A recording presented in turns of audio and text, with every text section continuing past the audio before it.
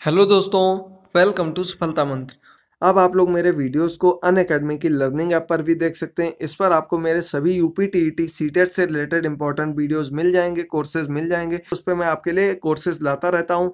तो इसके लिए आपको मुझे फॉलो करना होगा और नीचे दिए लिंक से जाकर आप लोग मुझे फॉलो कर सकते हैं। थैंक यू दोस्तों।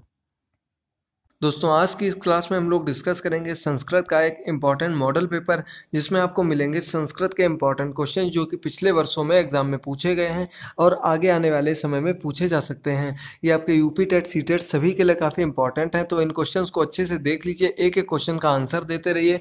पिछली वीडियोज़ की तरीके मैं आपको दो सेकेंड का समय देता रहूँगा हर क्वेश्चन पर और बहुत ही इंपॉर्टेंट क्वेश्चन है। तो चलिए शुरू करते हैं आज के इस पार्ट को। दोस्तों, सभी का आपको व्याख्या सहित हल मिलता रहेगा।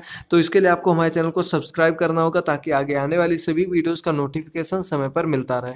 तो दोस्तों, अब देखते हैं पहले क्वेश्चन से। पहले क्वेश्चन में लिखा हुआ है, हा, वर्णस्य उच्चारण स्थानम विद्यते। मूर्धा, कंठा, तालु या फिर नासिका। तो आपको बताना, ह वर्ण जो होता है, इसका उच्चारण स्थान क्या होता है? ये आप लोगों से पूछा गया, इसका आंसर जल्दी से दे दीजिए, आप लोग क्या आंसर होगा इसका? तो दोस्तों, हा वर्ण का उच्चारण स्थान कंठ होता है। क्या होता है? हा। देखिए, बोल के देखिए, आप लोग कंठ से आवाज़ निकलेगी। तो इसका उच्चारण स्थान क्या होता है? कंठ होता है।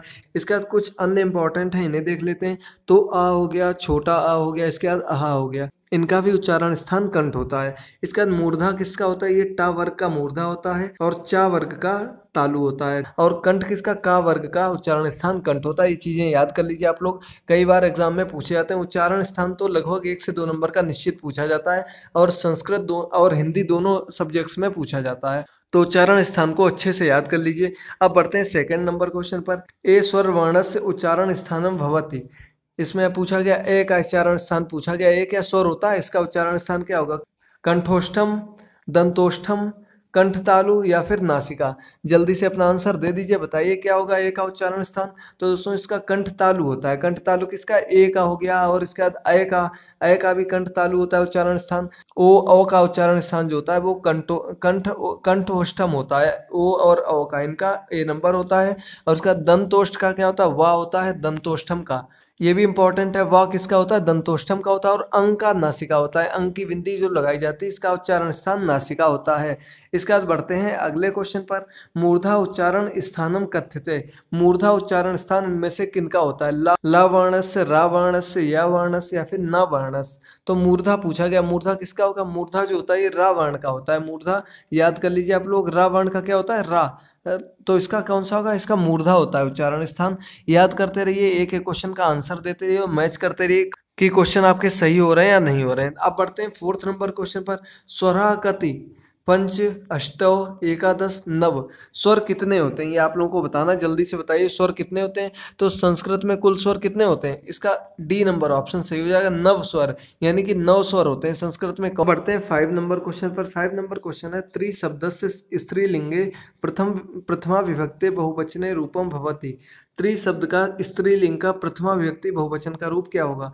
त्रीणी, त्रिस्त्र त्रया या फिर त्रिवी तो इसमें आपको बताना क्या होगा कि त्रि शब्द का ती का मतलब क्या होता है? तीन होता है, लेकिन इसे भी स्त्रीलिंग, पुल्लिंग, नपुंसक लिंग में लिखा जाता है।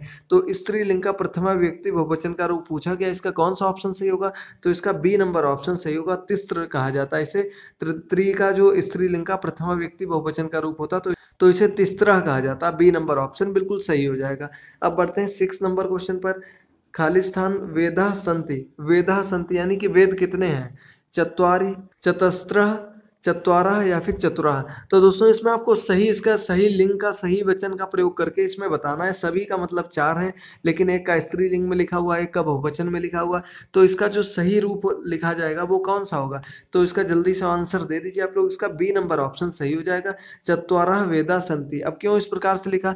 क्योंकि ये चतवारा जो होता है पुल्लिंग का रूप होता है और वेद के लिए पुल्लिंग के रूप का प्रयोग किया जाता है, इसलिए इसे चतवारा लिखा। अब वेद होते कौन कौन से हैं, ये भी आप लोगों को जानना ज़रूरी है संस्कृत के अंतर्गत भी ये चीज़, संस्कृत के लौकिक साहित्य के अंतर्गत काफ़ी इंपॉर्टेंट है। तो कौन कौन से होते हैं? तो सबसे पहला होता है ऋग्वेद। ऋग्वेद के बाद आता है अथर्ववेद, सामवेद और यजुर्वेद। ये चार वेद होते हैं। इनमें से मैं आपको संस्कृत साहित्य का जो लौकिक साहित्य पढ़ाया था, उसके अंतर्गत मैंने आपको एक एक चीज़ बता दी थी, क्योंकि वेद से लगभग एक से दो नंबर के क्वेश्चन पूछे जाने के चांसेस बने रहते हैं। तो जैसे सामवेद का अर्थ क्या होता है? सामवेद का अर्थ होता है जो गीत से संबंधित हो। साम का मतलब क्या होता है? साम का मतलब होता है गाने से संबंधित। तो वो साम वेद हो गया, गीतों से, संगीत से संबंधित जो होगा। अथर्ववेद का मतलब क्या होता है? अथर्व का मतलब होता है जादू टोना तो अथर्ववेद जो जादू टोना होता है उससे संबंधित है। अब बढ़ते हैं सेवन नंबर क्वेश्चन पर। लता शब्द से सप्तमी विभक्ति बहुवचने रूपम भवती।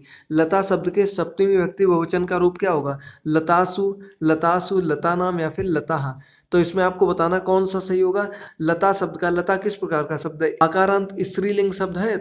आकारांत स्त्रीलिंग का एक रूप आप लोग याद कर लेंगे तो उससे आपके सभी रूप याद हो जाएँगे। अब आपका क्या पूछा गया? सप्तमी व्यक्ति बहुवचन पूछा गया है। देखिए, सप्तमी व्यक्ति बहुवचन में लगभग 90 परसेंट आप लोग मान लीजिए सब में रूप सेम होते हैं, क्योंकि अंत में सु लगाया जाता है, किसी में इस प्रकार से लगाया जाता है। अब आपको यही कन्फ्यूज़न होगा, यही चेक करना होगा कि ये सु लगेगा या फिर ये वाला लगेगा।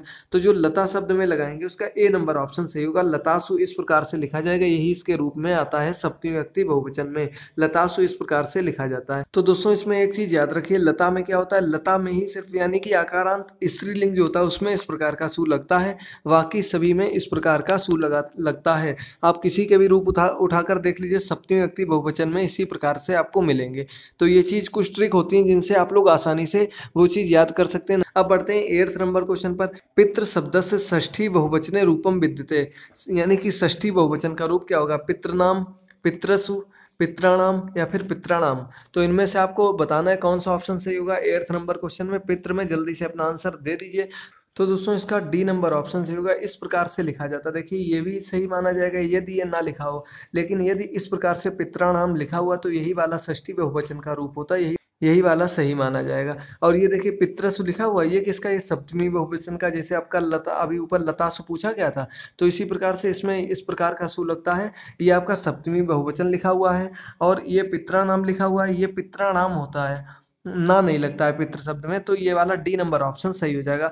आप लोग एक एक चीज़ समझते रहिए और अपना आंसर ज़रूर देते रहिए। अब इसका नाइन नंबर क्वेश्चन है, अस धातु लोट लकारस मध्यम पुरुष के वचन रूपम अस्ति? यानी कि अस धातु के लोट लकार का मध्यम पुरुष एक वचन का रूप क्या होगा, ये बताना। असी, एधि, संतु या फिर असानी। जल्दी से आप लोग अपना आंसर दे दीजिए। अस धातु लोट लकार का रूप क्या होगा? तो दोस्तों, इसका बी नंबर ऑप्शन सही हो जाएगा। एधि लिखा जाता है। क्या कहते हैं? एधि कहते हैं किसे? अस धातु के मध्यम मध्यम पुरुष एक वचन लोट लकार के रूप में एध लिखा जाता है। बी नंबर ऑप्शन बिल्कुल सही हो जाएगा। अब बढ़ते हैं टेन नंबर क्वेश्चन पर। सह धातु लट लकार से उत्तम पुरुष से बचने रूपम भवती। यानी कि सह धातु के लट लकार के उत्तम पुरुष एक वचन के रूप क्या होंगे? सहे, सहते, सहनते या फिर सह से जल्दी से अपना आंसर दे दीजिए। लट लकार कौन सा होता है? लट लकार वर्तमान काल का होता है। ऊपर लोट लकार आया था। लोट लकार मैंने आपको बताया था कौन सा होता है? आज्ञा काल वाला होता है। और इसका लट लकार से पूछा गया, यानी कि वर्तमान काल में सह धातु का पूछा गया है। तो उत्तम पुरुष एक वचन में कैसे लिखते हैं हम लोग? तो इसका ए नंबर ऑप्शन सही हो जाएगा। सही लिखा जाता है इसे। इसके रूप थोड़े अलग टाइप से चलते हैं। वैसे ज़्यादा ये पूछा नहीं जाएगा, लेकिन लेकिन काफ़ी आप लोग कह रहे थे कि बहुत ही इजी पेपर आ रहे हैं। तो दोस्तों, आज मैं आपके लिए थोड़ा मॉडरेट लेवल का पेपर लेकर आया हूँ। उसी वजह से कि आप लोग ये ना कह पाएँ कि कोई भी चीज़ छूट गई है। इस वजह से इस प्रकार के क्वेश्चन को भी हम लोग डिस्कस किए लेते हैं। तो दोस्तों, अब आप लोगों को एक क्वेश्चन का आंसर कमेंट बॉक्स में देना है। आज का आपका क्वेश्चन है, राम शब्द के तृतीय विभक्ति एक वचन का रूप बताना। है आपको राम शब्द का तृतीय विभक्ति एक वचन का रूप क्या होगा, ये आपको कमेंट बॉक्स में बताना। अपना आंसर ज़रूर दे दें अधिक से अधिक संख्या में, ताकि मुझे पता चलता रहे कि आप लोग शब्द रूप याद कर रहे हैं या नहीं कर रहे हैं, जल्दी से आंसर दे दीजिएगा अपना। राम शब्द के तृतीय विभक्ति एक वचन का रूप क्या होगा? अब इसके बाद इलेवन नंबर क्वेश्चन है, क्रय धातु लंग लकार से उत्तम पुरुष से बहुवचने रूपम विद्यते।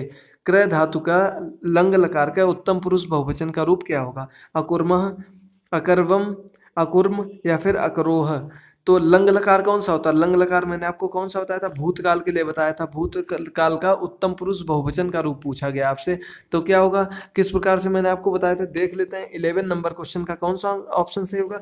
तो इसका सी नंबर ऑप्शन सही हो जाएगा, अकुर्म लिखा जाएगा इस प्रकार से, क्योंकि जो आपके लंग लकार के बहुवचन के या फिर किसी भी काल के बहुवचन के रूप होते हैं, उनमें विसर्गें नहीं लगाई जाती हैं। यही अंतर होता है। ऊपर आपको और रूपों में विसर्गें मिलेंगी, लेकिन जो उत्तम पुरुष बहुवचन हो गया, मध्यम पुरुष बहुवचन हो गया, इसमें मुख्यतः विसर्गों का प्रयोग नहीं किया जाता है। तो यही वाला ऑप्शन सही हो जाएगा, अकुर्म। लंग लकार से देखिए, एक क्वेश्चन आ गया, एक लोट लकार से भी आ गया। अब आगे देखिए, लट लकार वाला भी क्वेश्चन है। तो आपके इसमें धातुएँ आपकी क्लियर किए दे रहे हैं, क्योंकि इस पर मैं आपको पढ़ा भी चुका हूँ। पहले अभी मैंने उस दिन आपकी ट्रिक के माध्यम से सभी धातुएँ सिखा दी थी कि किस प्रकार से आपको धातु रूप बनाने हैं। यदि आप लोगों ने ना देखे हैं तो ज़रूर देख लें। और दोस्तों, साथ ही साथ, आज सुबह मैं आपके तत्सम तद्भव शब्दों के लिए एक ट्रिक लेकर आया था, जिसमें मैंने आपके सभी तत्सम तद्भव शब्द ट्रिक के माध्यम से इजीली आपको समझा दिए थे। तो यदि आप लोगों ने ना देखे हो तो लिंक डिस्क्रिप्शन में मिल जाएगा। वहाँ से उसे भी ज़रूर देख लीजिए एक एक क्वेश्चन को समझ लीजिए। अब बढ़ते हैं ट्वेल्व नंबर क्वेश्चन पर। पा धातु लट लकार से प्रथम पुरुष बहुवचने रूपम अस्ति।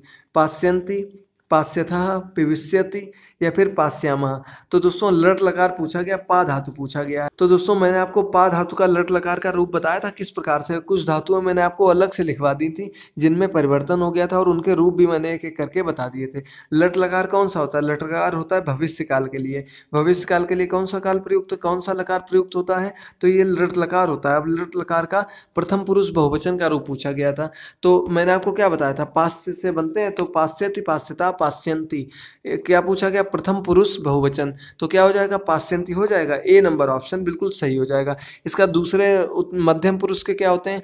पाश्य पाश्य सी पाश्यथा पाश्यत और उत्तम पुरुष के होते हैं पाश्यामी पाश्यावा पाश्यामा तो इसमें आपका एक वचन, एक पुरुष बहुवचन पूछा गया था, प्रथम पुरुष बहुवचन तो इसका आपका ए नंबर ऑप्शन बिल्कुल सही हो जाएगा। अब बढ़ते हैं थर्टीन नंबर क्वेश्चन पर। संस्कृते कति कारकाणी भवंती संस्कृत में कितने कारक होते हैं? सप्त, अष्ट सठ या फिर पंच जल्दी से अपना आंसर दे दीजिए। मैं आपको बहुत बार बता चुका हूँ, बहुत ही इंपॉर्टेंट क्वेश्चन है। कौन सा होगा? तो दोस्तों, इसका सी नंबर ऑप्शन सही हो जाएगा सठ यानी कि संस्कृत में कुल छः कारक होते हैं।